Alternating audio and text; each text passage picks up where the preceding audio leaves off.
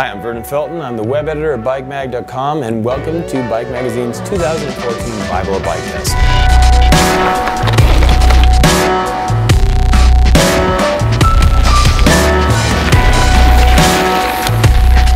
The Bible of Bike Test is, the, is hands down the best gear guide and we're confident about that because we've been doing it for five years now and we've, we've got it down to a fine art. It's all honest and it's all for the reader.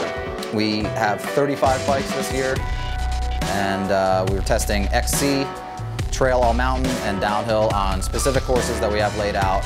Our job is to figure out where the bikes really excel and where they can be improved.